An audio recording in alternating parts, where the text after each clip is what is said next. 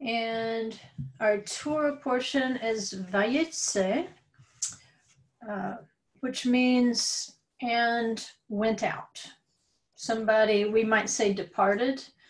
Um, but one thing, I don't know if you've noticed it about the Torah portions, but if you were to start at the beginning, if you were to start at, say, Bereshit, and work your way forward all the way to Vizot HaBercha at the end of Deuteronomy. And you just took the titles of the Torah portions, like Vayetze, or uh, Vayoah, or Toldot.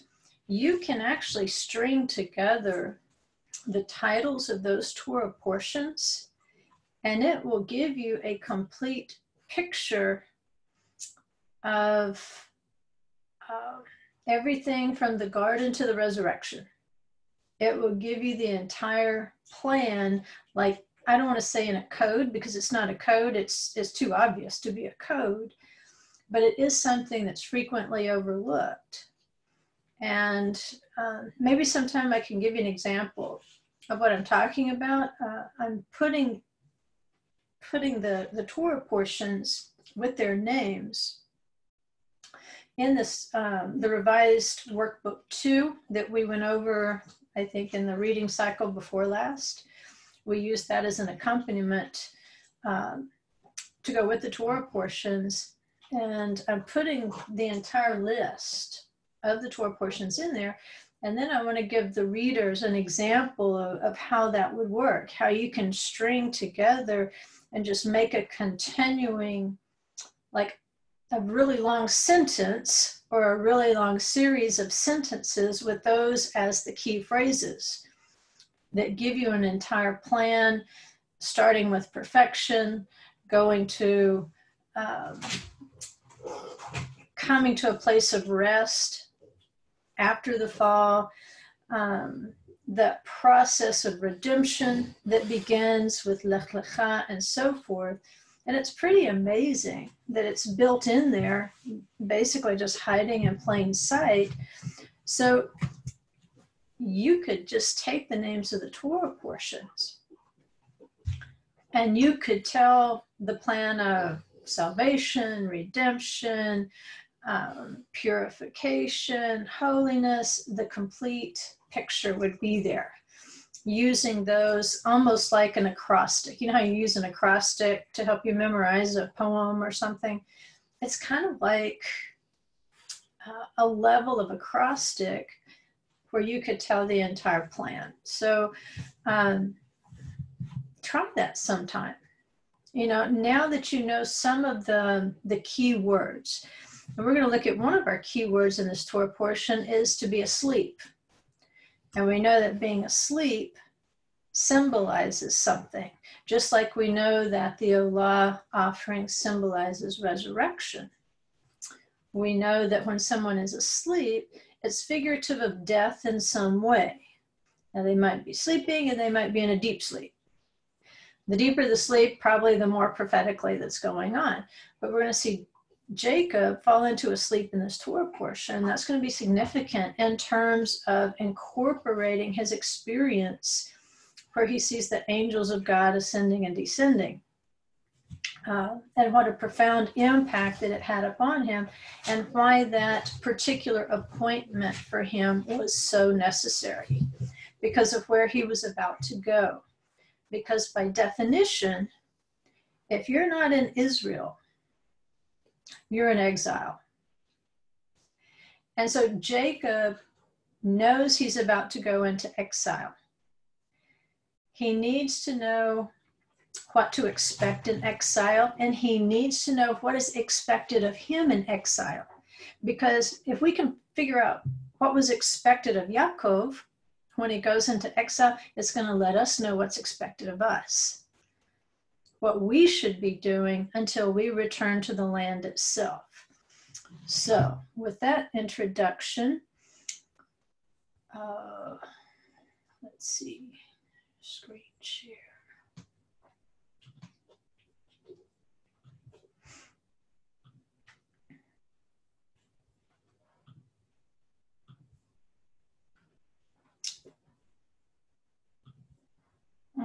Okay, so this is Vayitze, and there's your uh, readings.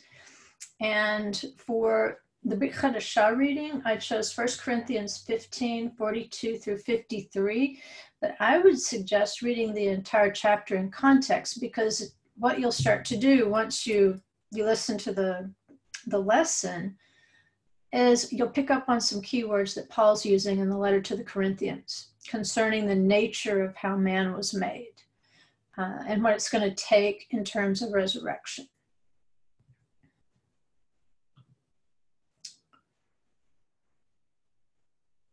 Okay, let's see. All right, here we are. And Vayitze, that's what we see. We see Jacob is told to leave the land, which at this point it's not called the land of Israel. Um, it's basically the land of Jacob's fathers, Abraham and Isaac. Uh, it's the promised land. Um, it's a covenant land, but you know there's there's no real assignment yet because they're still basically living like Bedouin. They just pick up and move. They might go to Hebron and to Beersheba, um, Be'er Rui. They just kind of uh, move apparently wherever the spirit is moving them at that point. But by definition, Jacob's parents know that he's going into exile. Jacob knows that he's going into exile. And because if you're not in the land, you're in exile. Uh, and interesting, I don't know if you remember this, this little bit of trivia. It's been several weeks, I think, since I mentioned it. But, um, you know, in the, the rabbinic point of view, once a person is privileged to return to the land of Israel itself to live. Uh, in, in some streams of Judaism, he's not permitted to leave it. And the one acceptable reason for leaving the land itself is to go find a bride, to go find a righteous bride. Now, I don't know what the context of that comment was. I, I, don't remember. It's been too long ago, and I don't even know what book I read it in. But that's an interesting commentary in terms of what is an acceptable reason for an Israelite to go into exile, um, to find a bride. And this is exactly the situation that Yaakov finds himself in. He's about to be separated from soil and that soil is important. I want to investigate this soil and what makes it so special as opposed to maybe the soil of Beijing or the soil of New Zealand or wherever. There's something about it that is special. And it's so special that being separated from it means you're in exile. That soil means something to a people who will come to be called by Jacob's new name, Israel. And that's one other thing I want to draw attention to in this Torah portion is that people's names change frequently in scripture, and so do place names. So sometimes you're reading about a place and then you realize, well, this could actually be the same place as this other place, but it's called by a different name. And in this Torah portion, it will literally tell you that this place used to be this place. Um, so that's not uncommon in scripture. I think that's why a lot of people stay confused. Um, and the way we're brought up, we're either or A, B, C, or D, true or false. And that's not the way the scripture is written. So it can be frustrating when we're trying to pin down a concept and it seems to move away on us. Um, but at any rate, this soil means something, something to a people who will be called Israel, and they're going to be required to live and walk by a covenant called the Torah. And the key thing to remember about this people, and it's a it's a trail I didn't have time to go down just because of time. You can't cover everything, and this is a long Torah portion. But they are also a people betrothed to the Holy One of Israel. Now, it's not that he's not the Holy One of Beijing, He's the Holy One of all the world. But in terms of his holiness, it's usually given in the context of a specific land and people, Israel. and they were betrothed at Sinai. And that trail I wanted to go down is an analysis of why the rabbis say that the sulam, the ladder in Jacob's vision, and Sinai are connected. That the two things have a direct connection linguistically or, or more in the gematria of it, but maybe next year.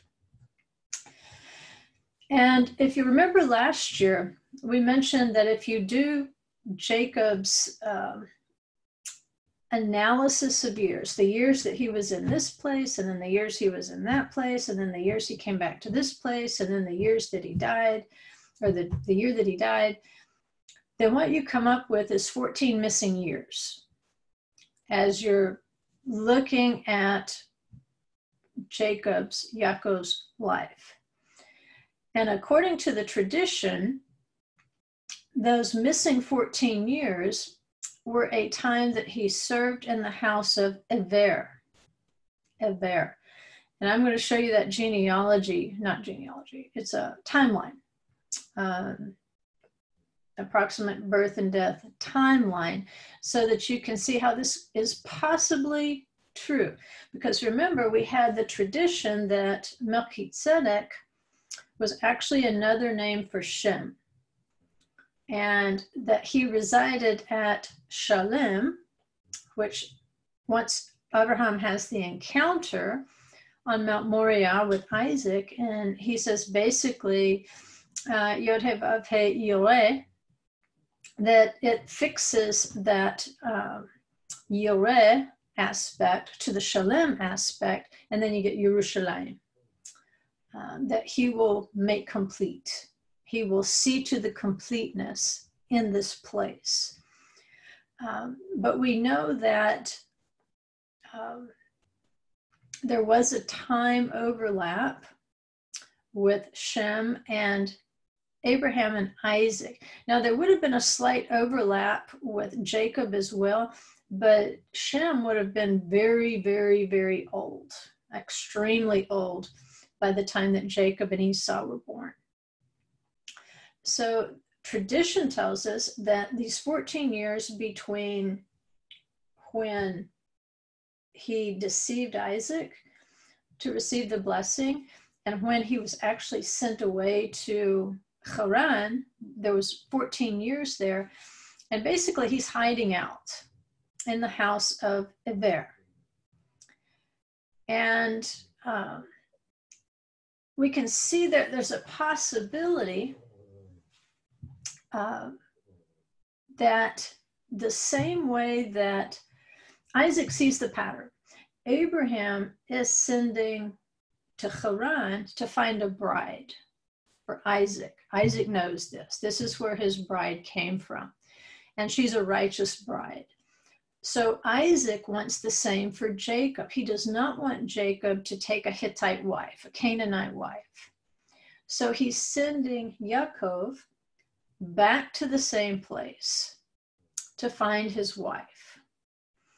And um, why would he have sent him to Aver in the interim?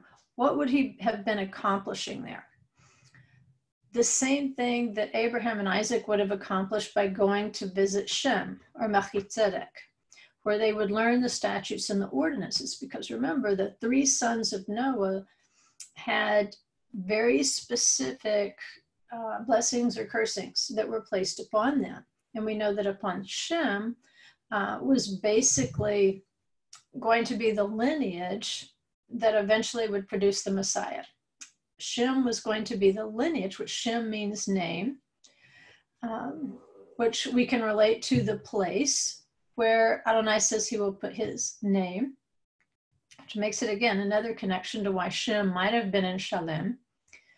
Uh, at any rate, this was the lineage that was preserving the statutes and the ordinances. Whatever existed up until the time of Noah, which there must have been an incredible amount of knowledge that you know even Adam and Eve took out of the garden. But it was up to Shem to pass this on.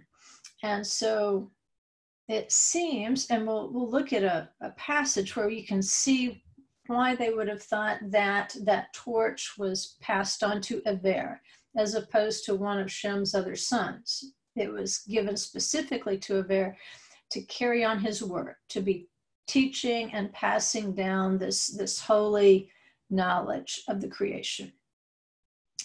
Uh, Genesis 26 5 indicates even before there was a Torah given at Sinai, that there was commandments, statutes, and laws. And that's why Abraham was chosen, and that's why Abraham was given tip offs as to future events. He says, Because Abraham obeyed me and kept my charge, my commandments, my statutes, and my laws. Well, how could he keep them unless he was taught? And of course, he may have had direct visitation like Moses, but it's probably more likely that he learned from somebody what the commandments, statutes, and ordinances were particular to his generation. We don't know, you know, if he knew everything in the Torah, but he certainly knew the ethical aspects of the Torah.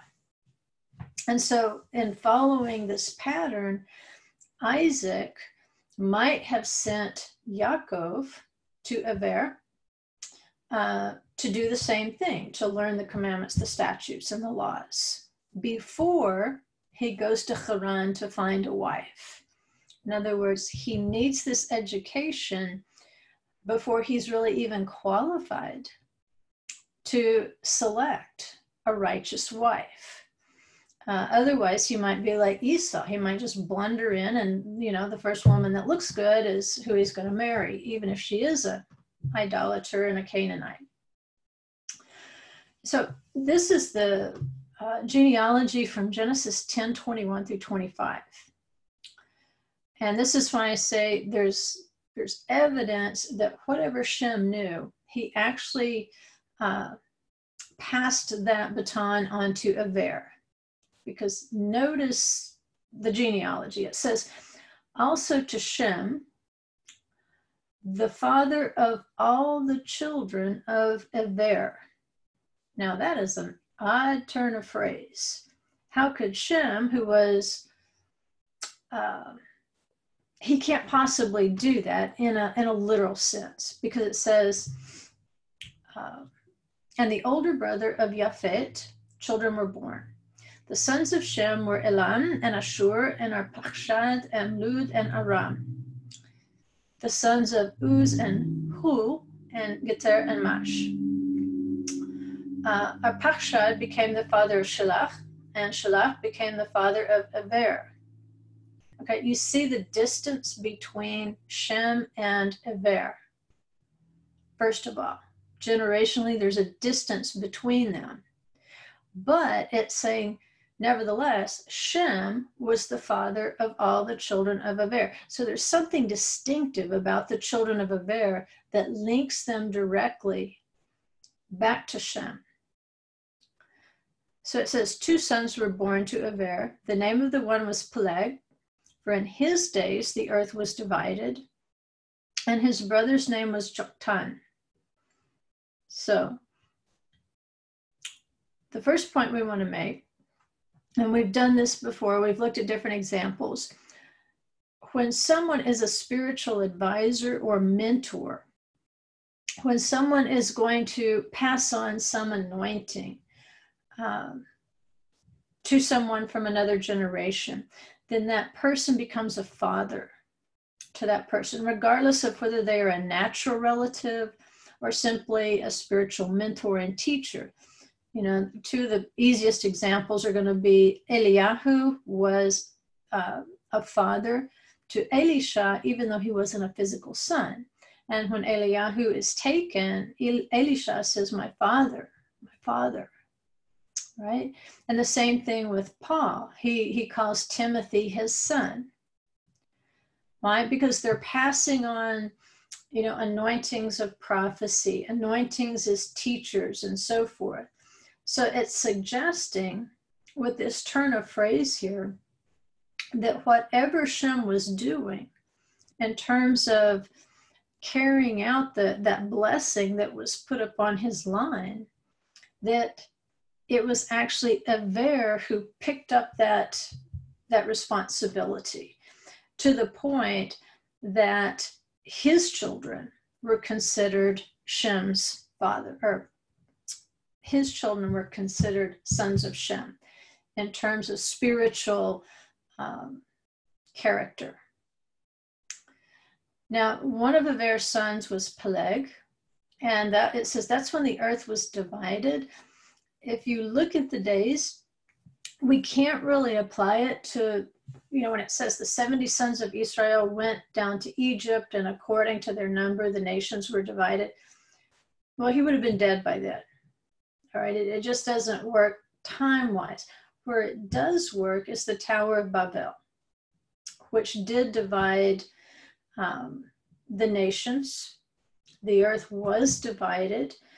Um, and, you know, from there, I think we can make that connection to the 70 sons of Israel, uh, which would have been a later division. So, first they were divided by language.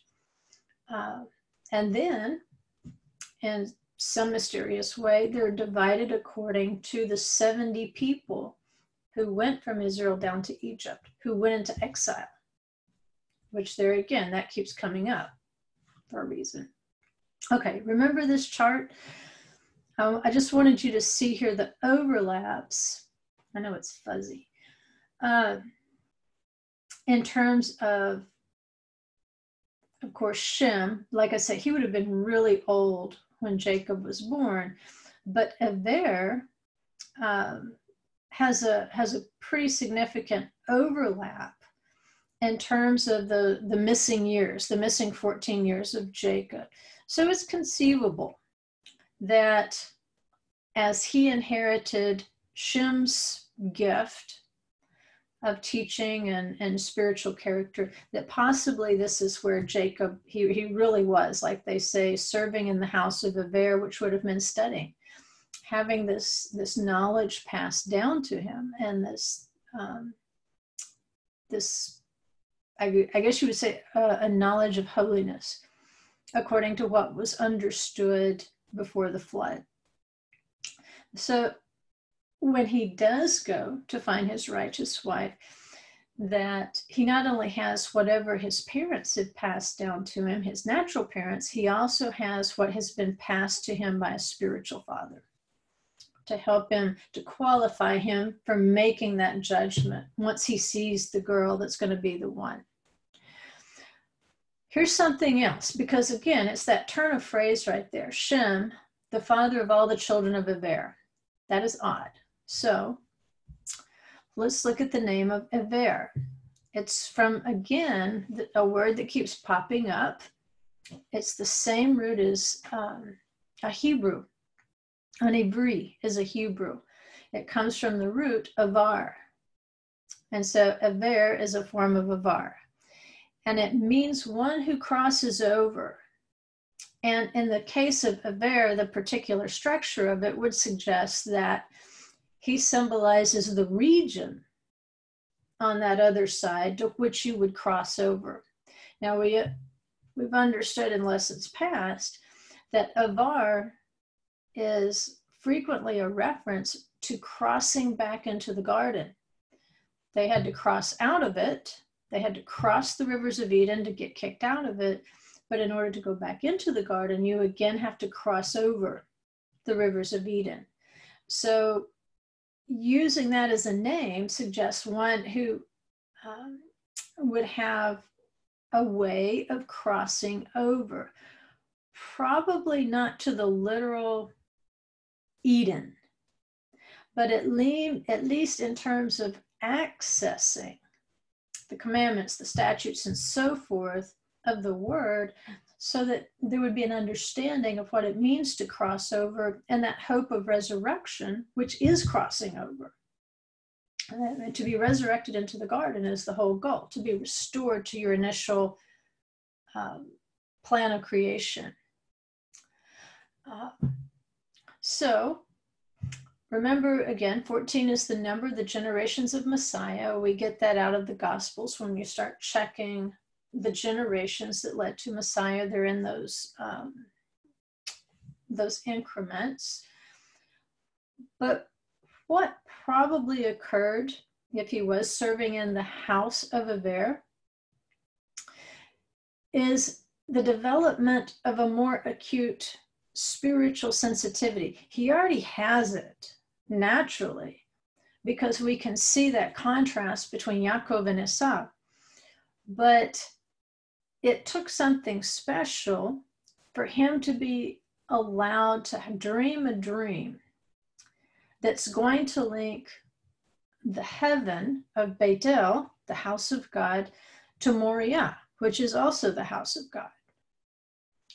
All right? Um, we're only speculating because it's not written in scripture that that's where he went to the house of Aver.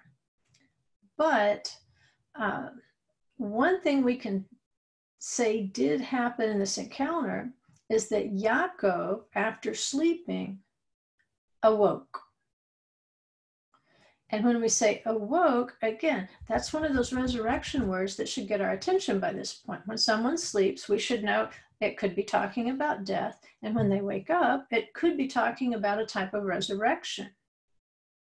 So even though he's had 14 hidden years, which is kind of what death does to us, it, it hides us from the physical eye, he could resurrect, he could wake up in the house of God. But then he realizes that, you know what? I'm going to be hidden again. I'm going to be hidden in exile and I'm going to have to cross back here because after all the crossing activity the goal of is to go back to Israel to go back to the land of promise so let's read um, Genesis 28 10 through 22 since that's the main part of our text or that at least the main incident. Um, I'll go ahead and do a blessing. That's a pretty long passage. Baruch Adonai HaMevorach Baruch Adonai HaMevorach Le'olam Va'ed Baruch Adonai Eloheinu melech haolam.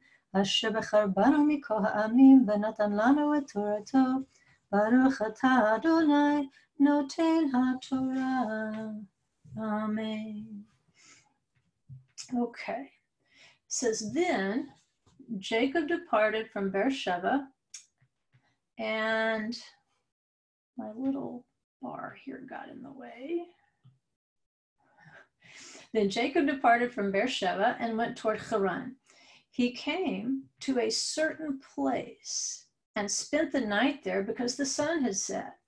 And he took one of the stones of the place and put it under his head and lay down in that place. He had a dream, and behold, a ladder was set on the earth with its top reaching to heaven. And behold, the angels of God were ascending and descending on it. And behold, the Lord stood above it and said, I am the Lord, the God of your father Abraham, the God of Yitzchak, the land on which you lie. I will give it to you and to your descendants. Your descendants will also be like the dust of the earth, and you will spread out to the west and to the east and to the north and to the south. And in you and in your descendants shall all the families of the earth be blessed. Behold, I am with you and will keep you wherever you go and will bring you back to this land. For I will not leave you until I have done what I have promised you. Then Jacob awoke from his sleep and said, Surely the Lord is in this place, and I did not know it. He was afraid and said, How awesome is this place! This is none other than the house of God, and this is the gate of heaven. So Jacob rose early in the morning and took the stone. See, there again, the, the rising early in the morning. That's another resurrection phrase. And took the stone that he had put under his head and set it up as a pillar and poured oil on its top. He called the name of that place Bethel. However, previously, the name of the city had been Luz. When Yaakov made a vow, saying, uh, then Yaakov made a vow, saying, If God will be with me and will keep me on this journey that I take, and will give me food to eat and garments to wear, and I return to my father's house in safety. Then the Lord will be my God. This stone, which I have set up as a pillar, will be God's house. And of all that you give me, I will surely give a tenth to you.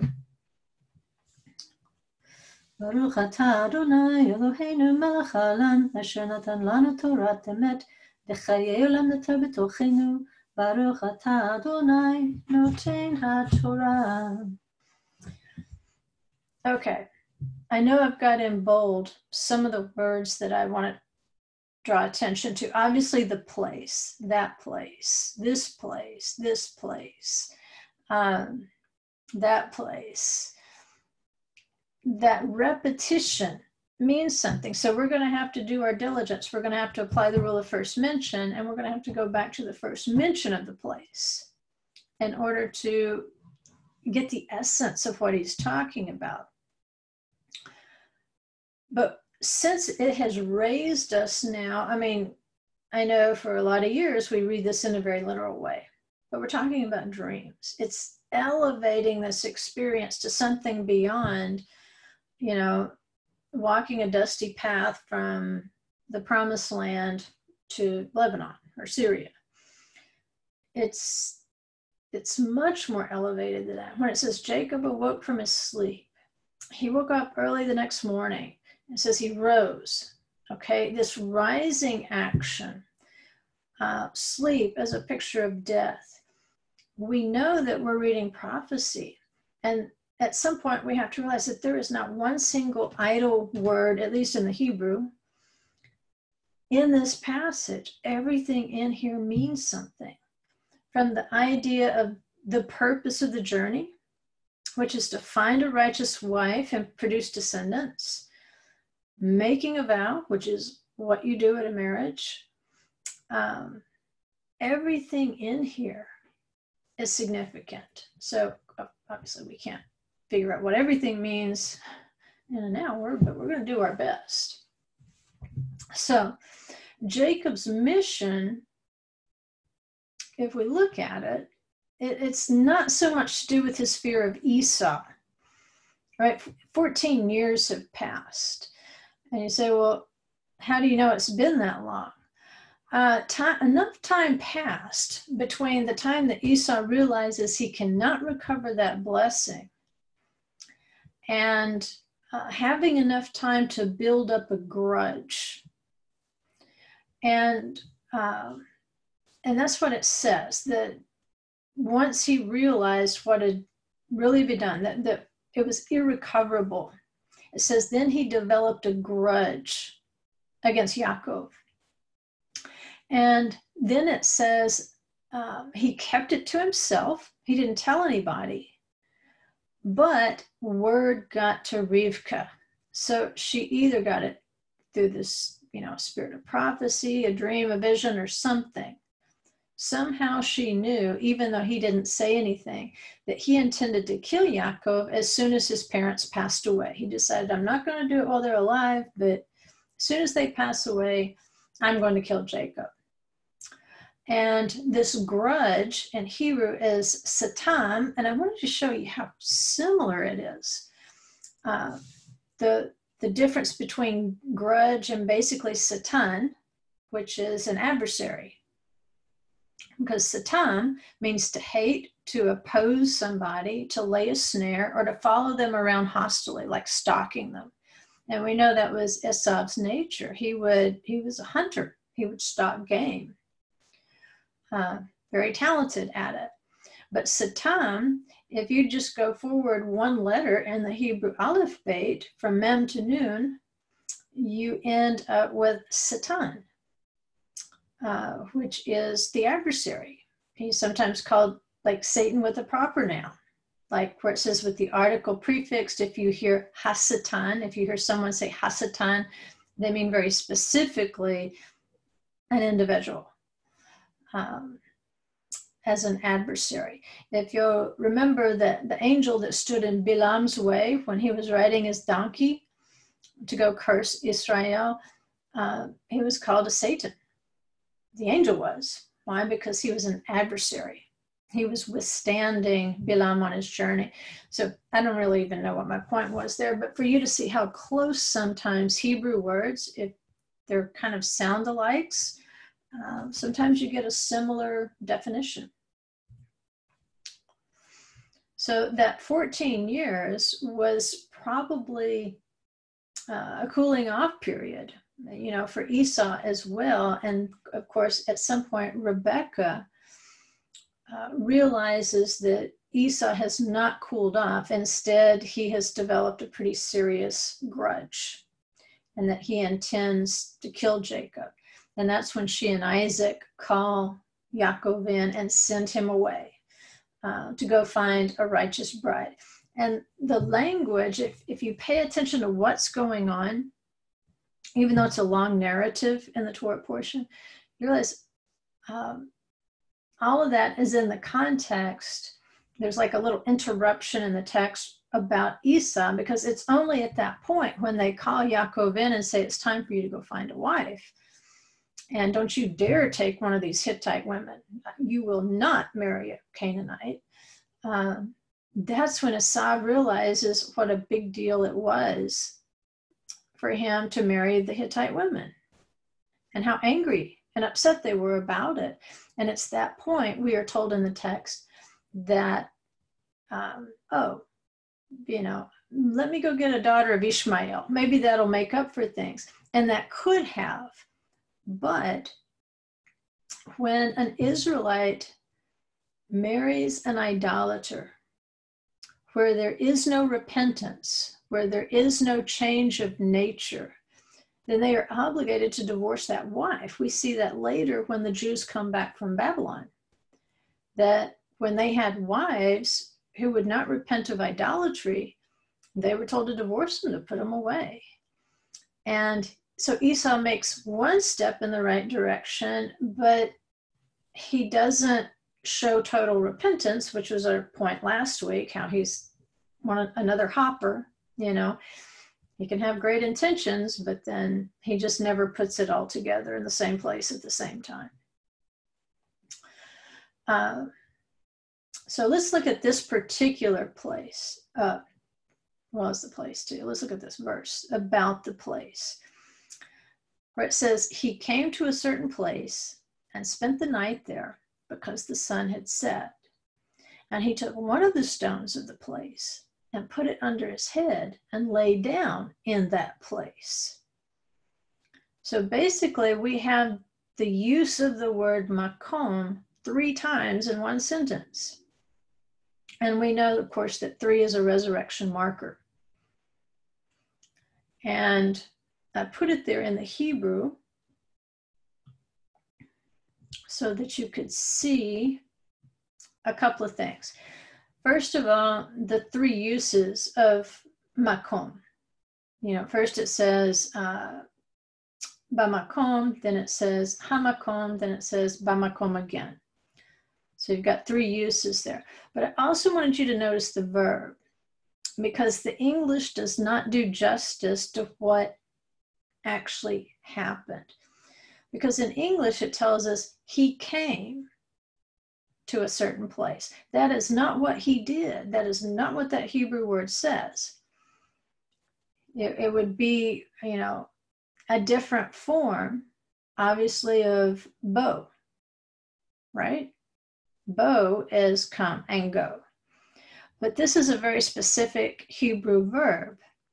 It says vayifka, and vayifka or yifka, it means to encounter something. It's it's not a casual word. It's it's much more powerful in terms of describing the action than bo.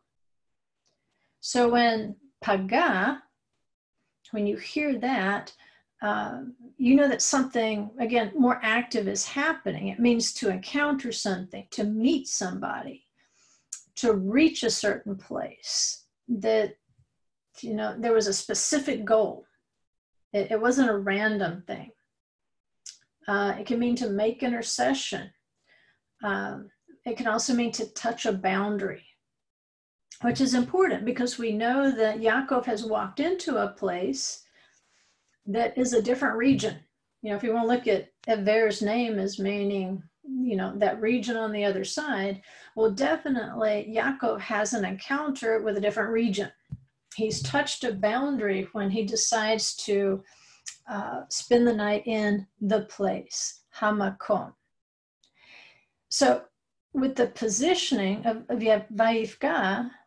we realize that even before he goes to sleep and has the dream, even before he wakes up and realizes what the dream is, that he has had an encounter prior to those two things, even before the dream and the awakening, even before death and resurrection, he has an encounter and if you've ever been to Israel, or if you've been more than once, you realize this is very frequently the case. It happens to me um, every single time I go. Every single time I go, at some point, I will know specifically why I went, but it may not be for months after I return, which is actually kind of backward.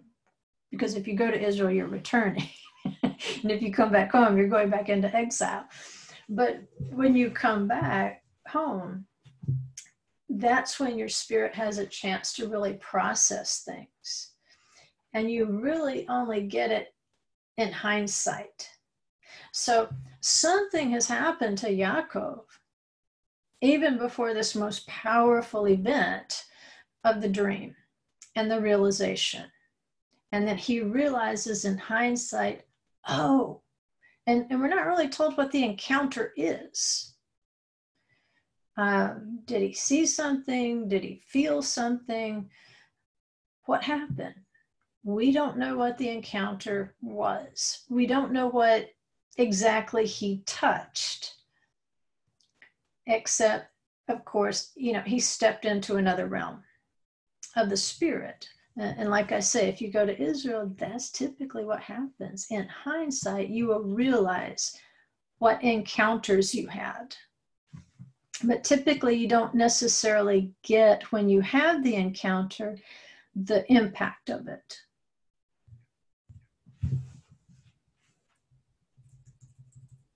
Fix that. Okay. So the mission he's on is marriage. And he can see in the dream that that mission is being affirmed because he's promised descendants. You, you don't get descendants unless you're Esau's son, Eliphaz, who just, you know, took Timnah and ended up with Amalek. All right. Um, she was not a wife. But when the mission is marriage, then ultimately you know, the long term goal is going to be not just children, but for Yaakov, he needs to find a godly wife so that he can father godly children. Uh, and so, to enable him to feel affirmed, I believe, in the mission, like he's on the right path, and that, you know, Adonai is not going to leave him in the exile alone. He's going to go with him he has to encounter, remember Vaifka, he has to encounter, he has to touch a boundary of the makom, the place. And I thought this is an excellent description of the place. So I just had to put the quote in here for you. It says, Makom is a gateway to heaven that spans the void between the physical train beneath his feet and the heavenly world, the spiritual and transcendent spheres beyond this world. Yaakov's vision is almost unfathomable, for he describes spiritual structures that transcend the physical, yet have a physical manifestation. So we have this rock, which apparently means something to him, and then we have the ladder, which means something to him. But who knows exactly what he truly encountered in the ladder and in the rock? he's touched something. He's touched a boundary there that has transformed his vision. And it's very difficult, Rabbi Kahn is saying, for us to even fathom what he saw. You know, it's like Ezekiel's vision. He's doing the best he can to describe it. But for us as the reader, it's really difficult to see exactly because probably if you're like me, you know, you read a, a children's storybook of Bible stories, or your your little children's Bible had pictures in it, and Jacob's ladder to you is exactly whatever was in that first picture you saw of it. But it it's not that. It's it's something much more powerful because he's terrified. He's afraid when he wakes up. So, and I don't do this much. And I don't encourage you to do it much because people get carried away with it and then they end up not speaking in a known tongue. Uh, people get fascinated with the Hebrew letters and especially the Paleo Hebrew letters. But if you start trying to do this with your Christian friends, they will not understand a word you're saying and they will think you've lost your mind, or at worst, that you're just very boring. Uh, but if you do know the Hebrew letters and you can read a little bit of Hebrew, I think it's very useful because a word itself will sometimes help you to get a grasp of the word's essence. It'll, it'll be like a memory device, is what I would call it. And so I just took the word hamakom for the place, because remember, hamakom, according to Yaakov, is the Shemaim, right? It's the gateway to the Shemaim. So if we take the first letter of Hamakom, it's the definite article the. It's the the in the place. And when you put the definite article in front of it, it means the one and only. It's designating, it's, it's giving it specificity. In other words, there's only one place, which I'm going to I'm going to stir that around a little bit when we try to figure out exactly where Beit El is. And is there is it possible there's two Beit Els? Or are those two Beit Els actually one Beit El? And if they're one, then how did they get to be one when they're in two separate places? We'll look at that. The first actual word of Makom is Mem. And if you've uh, looked at the letter, you can see it, it designates like water the, the Paleo Hebrew, it looked much more water like. You could actually see the flow of the water. Uh, the modern Hebrew, it's basically representing water, but you can see inflow, like there's a little spout up there where water can pass through. And that's the exact midpoint of the aleph bet in Hebrew. It's the center of the aleph in the top. Right? When you add mem to aleph and tav, you end up with emet, which is truth. Right? So when he says, you know, I'm the beginning and the end, he's also the middle because he is truth. The next uh, letter is a kof. And if you look in Second Chronicles 9.21, you can see that the, the kupim are apes or monkeys. And you say, now wait a minute, there's no monkeys in the temple. Uh, when's the last time we saw an ape in the temple? well, think about that. But at any rate, an ape is an animal that mimics, it, it likes to imitate things. So Kuf is the first letter of holiness, Kadosh. And the essence of holiness is be holy, for I am holy. In other words, it's I have made you to be in my image. And so when we see a kuf, we get the idea that it's it's something that would conform to the image, would conform to the will, would conform to the, the spiritual authority of the Holy One. Next is a vav, which is a connector. It literally means and. And you'll hear it affixed to many of the Torah portions, like Vayikra, Vayitze, Vayera, Vayishlach. And in Hebrew, it's not like in English class where you get in trouble if you start a sentence with and. In Hebrew, it's perfectly okay. Why? Because it will connect you to the previous concept. Uh, Hebrew's less concerned about disconnecting ideas, it's much more fluid. Uh, literally, it's going to be a nail or a peg, uh, some sort of object that's designed to connect two things.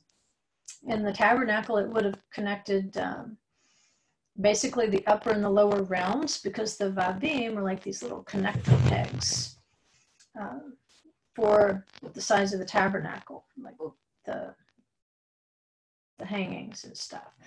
But it also represents a man. You see, it looks even looks like a man with his head kind of bent over. Uh, but both man and beast were created on the sixth day. It's the sixth letter. And so it can also represent, at least symbolically, a human being.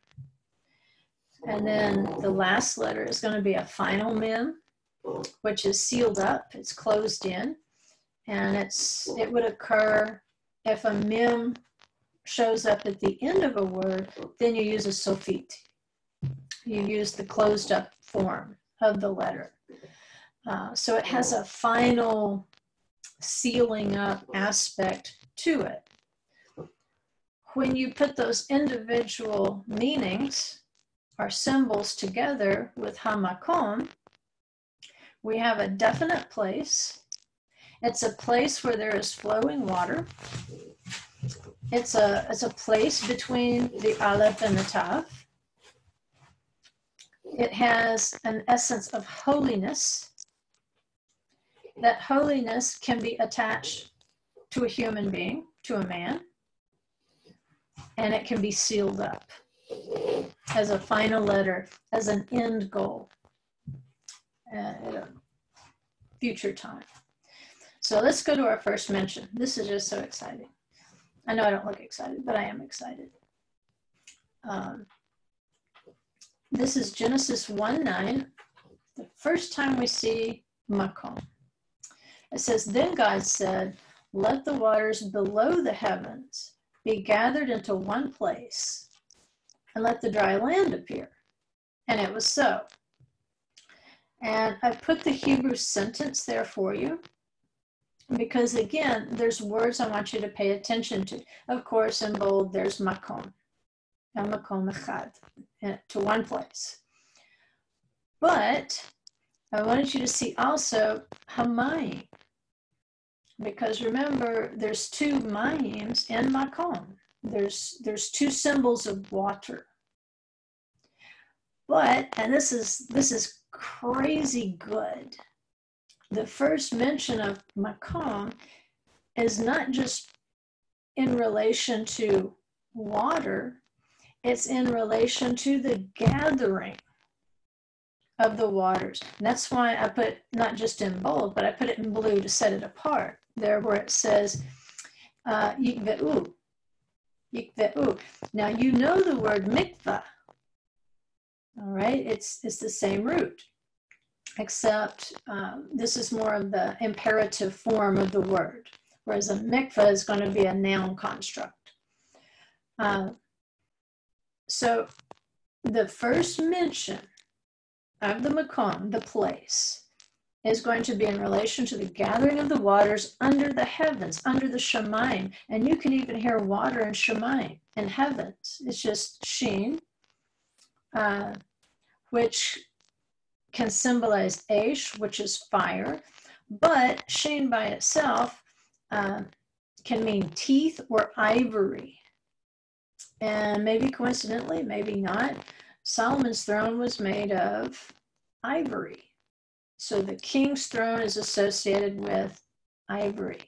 So it's a type of authority picture there, if you break down the, the letter. So it's, it's an authoritative water. So yikve'u is the same root as mikvah. And you know, a mikvah or a gathering of waters is necessary. If you've had contact with the realm of death, then you have to immerse in a mikveh. If you plan to enter those inner precincts of the house, of the temple, then you have to mikveh. in order to be ritually prepared to cross in there. So the gathering of the water is the mikvah. The place of the gathering is makom. All right, that's important. If you take notes, which I'm getting, you get the PowerPoint, so I guess you get, need to take notes. But in terms of understanding this whole thing, because our first mention gives us the GPS, when we're trying to figure out exactly what Yaakov is talking about, when he talks about Hamakom, Hamakom, Hamakom, Bamakom, the gathering of the water is the mikveh. The place of the gathering is makom. Okay. So here's a picture. Um, around the temple, there's an excess of 200 of these mikvahot, or ritual immersion uh, baths. They're not, you know, to take a, a bar of Irish Spring and jump in. You should already be clean when you go in there. Um, but you're there simply to pass through the waters so that when you come up out of there, you are like dry land emerging from the gathering, the mikvah of the waters. And so, not just around the temple precincts did they have so many mikvahot, but on the pathways going into Jerusalem. Like on the path of the patriarchs, there's a, a pretty good sized mikvah where you can like go down on one side through one opening and then come back the other so that there's a lot of wide space. So if you're coming up ritually clean, then you're not randomly brushing up against somebody who has yet to go down in there. Um, so we've got dry land emerging from the gathering of the place. And we know that water is a symbol of the Spirit. So we have man emerging from the dust of the ground. He is a kind of a hybrid. I don't know if I like that word, but I can't find a better one. He is a kind of a hybrid creation of both the spiritual and the physical worlds. And it's not just any dust of the earth that is used, uh, because, you know, there's sand probably underneath the gathering of waters. He could have used the sand beneath the sea, but he didn't. He used very specific dust of the earth. He used the earth that emerged from the makom, from the place. So if we just ride with Jacob a little bit and we connect the dust of the place to a specific place, in his case, a place called Beit El, but we also know that Moriah is also called the place, then we know that man was formed from the earth, the dust of the earth that emerged from Hamakom, the house of El. Man, Adam, was formed from the Adamah, the earth of the house of God. And so, what's the message here? He was to bear an image. He was made in the image of Elohim. So, in terms of his formation, he has an earthy image. But he also has this heavenly, spiritual image that counterbalances that earthy beginning. And, and that's the, the message we get out of Targum Yonatan um, in the commentary or in the translation, the, the Aramaic translation from Genesis 2 7, he says that the dust that man was formed with was gathered from the place where the Beit HaMikdash would stand. That's how he's interpreting that passage. That that specific dust that is our substance, its origin was from Hamakom, from the place where later the Beit HaMikdash would stand. And why would the Beit HaMikdash stand there? Because it's representing on earth something that actually exists in the heavenlies. And so it's it's representing, at least to mankind who fell from the garden, that when you see this physical temple and you walk in the dust of the earth of this physical temple, it makes you think about how you were formed and why you were formed to begin with. And why your goal shouldn't just be to go and offer sacrifices in this place in just an earthly physical sense, but your ultimate goal should be to offer thank offerings in the place, the temple above. One represents the other. One keeps your, your focus on the other. It was never intended for you to look at the temple and say, oh, how marvelous this temple is. What a wonder, you know, what a wonder of the world how could human beings have done something this beautiful? It was never intended to be just that. It was intended for you to look at that temple and think of your resurrection when you would awake. And you would realize that you had had an encounter that was going to enable you to pass and to cross over into that original place of the place that would far outshine anything a human being could build on the earth of a place. And so I know our time's up. But I think this is, we can close with 1 Corinthians 15 42, at, at least until tomorrow, because we've got some spectacular places to go on this journey with Jacob. Uh, but Paul explains it and, and very much this rabbinic interpretation of how man was formed and where his true home is and why it hurts so much, or it should, why it hurts so much to be in exile, because you are separated from your place, from your place of origin. So Paul says, so also is the resurrection of the dead. It is sown a perishable body. It is raised an imperishable body. He's referring back to the original bodies that Adam and Chava had in the garden. He says, basically, now it's sown in dishonor, but it's raised in glory. See, raised there, there's our resurrection language.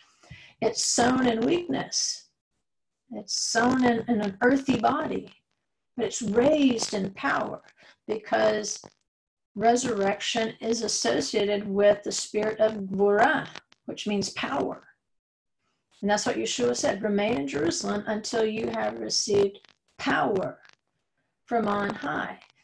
That, that same spirit that resurrected Yeshua from the dead, that same spirit of power, he says, I'm going to put that in you in order to enable you to go and preach that good news that you can be resurrected into the garden.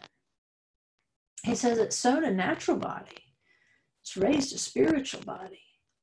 If there is a natural body, there is also a spiritual body, which goes back again to the gathering of the waters. The dry land of the place emerges and then the breath of Elohim, the spirit of Elohim, gives you that heavenly aspect of your creation. He says, So also it is written, the first man, Adam, became a living soul. The last Adam became a life giving spirit. And by the way, the soul is formed in the lower parts of the earth, according to the psalm. However, the spiritual is not first, but the natural, then the spiritual. And that's exactly what happened. Adam was formed, and he had a body, he actually had a soul, but it wasn't a living soul until Elohim breathed spirit into him. That's exactly what sets him apart from the, the creatures, the, the beasts. The first man is from the earth, earthy. The second man is from heaven. As the as is the earthy, so also are those who are earthy. And as is the heavenly, so also are those who are heavenly.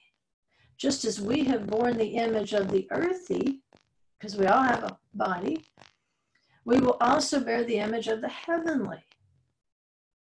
Now I say this, brethren, that flesh and blood cannot inherit the kingdom of God, nor does the perishable inherit the imperishable. What is he saying? Look, you can't just march into the garden in this body of flesh. But he says, I tell you a mystery. We will not all sleep. Remember, sleep is a metaphor of death. We will all be changed in a moment, in the twinkling of an eye, at the last trumpet, which is going to be Rosh Hashanah, the Feast of Trumpets, because the great trump is Yom Kippur. For the trumpet will sound, and the dead will be raised imperishable, and we will be changed. For this perishable must put on imperishable, and this mortal must put on immortality. So you see, he's not saying, you know what, we got to get rid of this nasty old corruptible body he's saying this nasty old corruptible body is actually going to be changed so that it can be restored to the garden in the way that it was originally intended. Like Jacob is seeing. I'm seeing something that I'm putting in earthy terms, but what he is seeing is something in the spiritual realm. So, and tomorrow's class, we're going to try to unpack exactly what was going on in that place and um, how he could how we can look at the place and decide we don't have to decide but we can look at two different aspects of the place whether we're talking about jerusalem as hamakom mount moriah or whether we're looking at a different location Let's see if I've got it up here. I think it's later. Okay. Um, that we can also identify as Beit El, and I'll show you pictures of it tomorrow. Um, because that particular Beit El is near a place called Ai. And I've got pictures of both of those places I can show you. But how could he be in the place here, but also be in the place there. Well, the rabbis have an interesting take on that. And uh, we'll see. That's one of those things I'll, I'll have to put the information out there and, and, let you make a decision. But uh, this is an exciting Torah portion when we take it up a level. When we let those key words like sleep, uh, awake, arise, especially when he arises early in the morning. Um, that's a big tip. We're getting these GPSs when we when we see where our substance began. I mean, that's incredible. I mean, I can't see all of you. Some of you don't have your, your cameras on, but the ones I can see, how many of you would like to be in Jerusalem right this second? because you know where you were born. That's your birthplace. That's the birthplace of mankind, the place, the dust of the place. And then he breathed his spirit into us.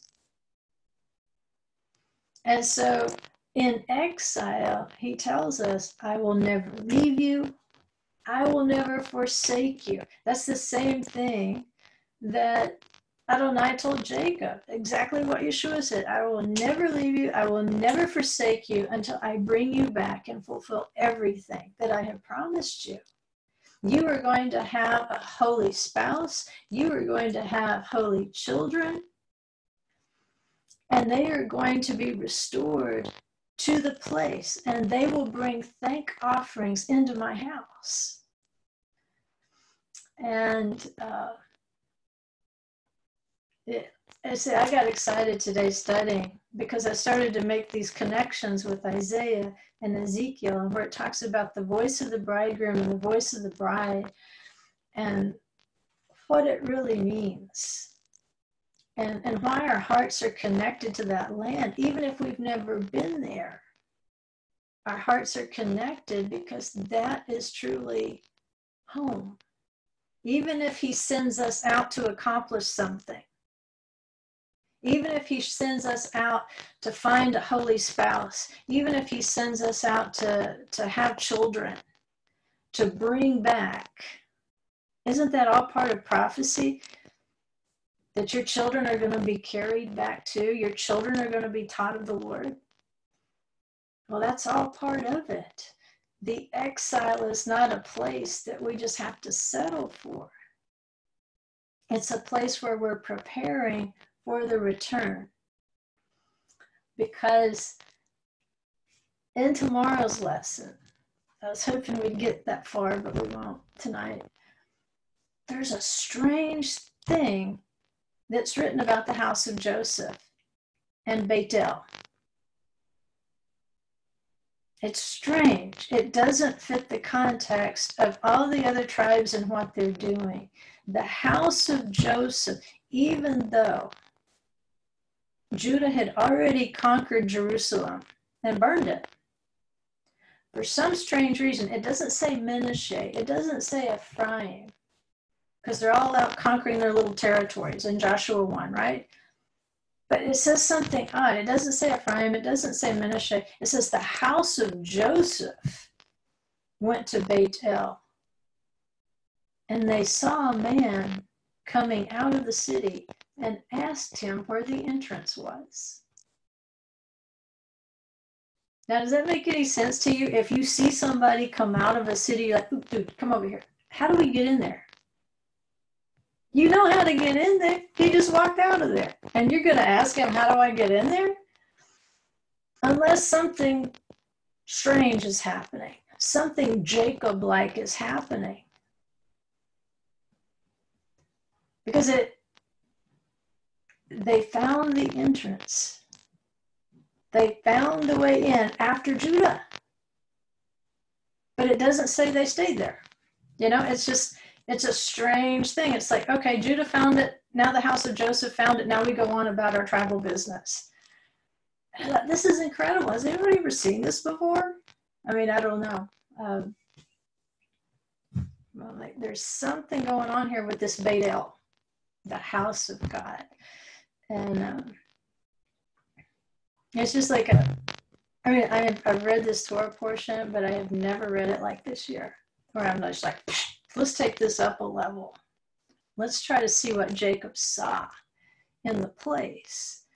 And once you start using the rules and going back to first mention you realize why he would be so afraid to leave and to go into the exile but don't be afraid of your exile. He's going to give you food to eat, He's going to give you clothes to wear. You're going to be fine. And when you come back to the place, you're going to have so much more than you left with. You're going to be blessed and and your children and your children's children are going to offer thank offerings in the house of the lord. You can write it down sign it seal it up because it's in the word. And by the way i just want to thank tyler for praying wednesday night. That was that was an agony last week. and after you prayed, it wasn't instantaneous. I'm still hobbling around, but little by little, I was able to walk. Um, and I can get myself up and down now. Um, you know, uh, it's it's not dramatic. but it's steady improvement. Um, because I didn't think it was just, you ever just hurt so bad you think I'd rather just run my head into a wall than put up with this. but I wouldn't run it anywhere. uh, but thank you. You know, when we pray for one another, it makes a difference. It really does. So thank you. And, you know, tell ROL thank you too, because I couldn't have taken another day or two of that.